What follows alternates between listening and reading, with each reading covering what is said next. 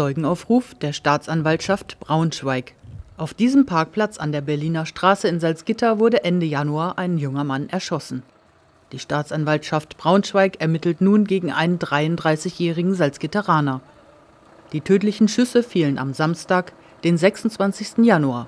Gegen 20.35 Uhr ging bei der Polizei die Meldung über eine regungslose Person am Boden ein. Einen Tag später wurde ein 33-jähriger Tatverdächtiger festgenommen.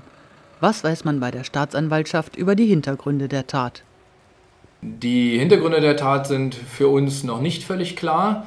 Wir gehen im Moment davon aus, äh, dass der Täter geschossen hat, weil er mit der Liebesbeziehung des Opfers zur Schwester des äh, Täters nicht einverstanden war. Ein möglicher Hintergrund könnte darin liegen, dass der Täter Moslem ist, während es sich bei dem Opfer um einen Jesiden handelt.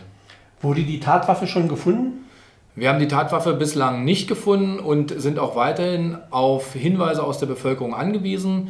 Ich möchte deshalb an dieser Stelle alle Zeugen aufrufen, die gegebenenfalls Beobachtungen zur Tatzeit in der Berliner Straße in Salzgitter-Lebenstedt gemacht haben, die in irgendeinem Zusammenhang zur Tat stehen könnten, sich bei der Polizeiinspektion Salzgitter zu melden.